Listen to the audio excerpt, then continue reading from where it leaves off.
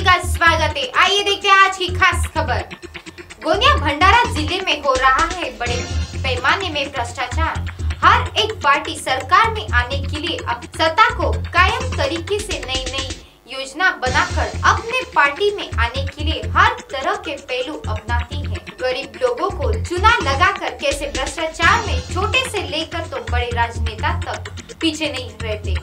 ऐसा ही प्रकार हमें गोलियाँ भंडारा ज़िले की दर्शाई जा रही है। प्रधानमंत्री नरेंद्र मोदी हर तरीके से गरीबी को नष्ट करने की योजना बनाती है। तो उन्हीं के राज में यह हो रहा है। महाराष्ट्र शासन द्वारा चावल हल्दी में भ्रष्टाचार की जा रही है। केंद्रीय भंडारा निगम व गोंदिया एमआईडीसी मुंडीपार में चावल लिया जाता है।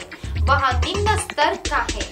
डिस्ट्रिक्ट सप्लाई ऑफिसर जैसा कि जिला खाद्य अधिकारी कहा जाता है, उनके तह अधिकारी कुछ चंद रुपए के खातिर गरीब के अनाज के साथ हो रहा है खिलवाड़। इस तरह उच्च स्तर में जाँच होनी चाहिए।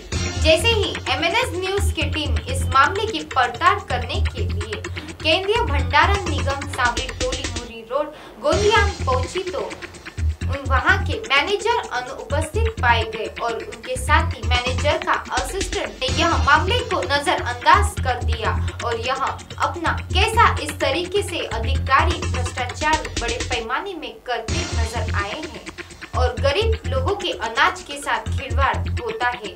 जैसा कि आज हम केंद्रीय भंडारण निगम में खड़े हैं, जहाँ से हम अपनी जानकारी लेना चाह रहे थे। यहाँ के मैनेजर आज यहाँ अनुपस्थित है। और उन, उनके जो असिस्टेंट है उन्होंने हमें अटपटा सा जवाब दिया है। यहाँ के कर्मचारी हमसे दुर्व्यवहार किए जा रहे हैं। और जैसा आप जानते हैं यहाँ पे चावल के लिए जो गरीबों का चावल जो जाता है उसके लिए यहाँ पर काफ़ी इसमें भ्रष्टाचार किया जा रहा है। इसलिए हम आपको आपको एक न्यूज़ दिखाना चाहते हैं। तो खबरों में आज के लिए इतना ही।